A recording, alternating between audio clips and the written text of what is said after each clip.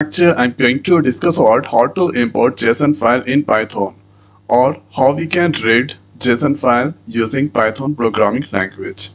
So there I'm going to open the command prompt. Let's write the series. Now writing Python. So here you can see Python 3.123 version currently I'm using. So first here we need to import JSON press enter now let's write their variable name file1 thereafter open method.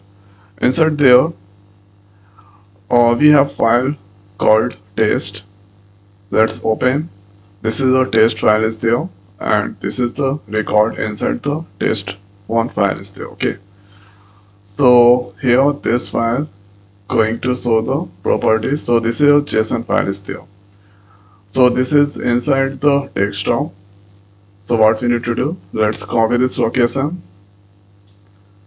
And uh, here inside the single quote pasting this location. So here in the desktop we have the file test1 okay. So let's give here test1 and we need to give the extension JSON close by the single quote after that let's give here double forward slash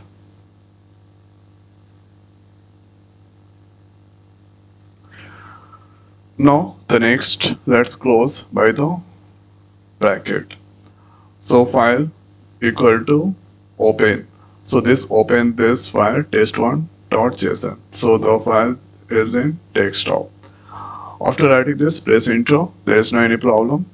Let's write here another variable rd this here JSON that called load method so load file 1 so let's write there file sorry file so this load here file after that going to use the for loop so here for row in rd colon.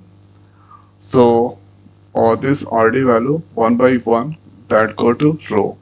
Then after using here print method.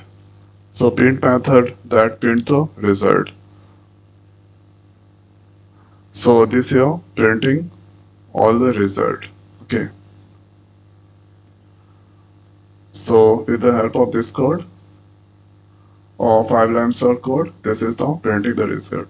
So this is ID content emp number and here ename job and thereafter this is id here emp number this and here this all values that's displaying there. After that this also has the value so this also displaying there. Okay. So import json then file and here equal to open so open method that I'm using. So with the help of this we can here open this test1.json file. After that rd is the another variable that equal to json. So json that called load. So here load what exactly is load? So this here file contain that load. After that here or uh, using for each loop.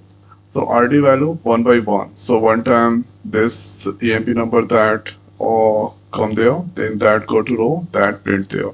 After that next time 7499 that go to row that print there. Like this one by one that's come and printing there. If there is no any record then that out from the for loop so this is the most uh, simplest way we can here read or import json file using python programming language so I hope guys this video is helpful for you. So now this video is over. So thanks for watching. See you next video. Thank you.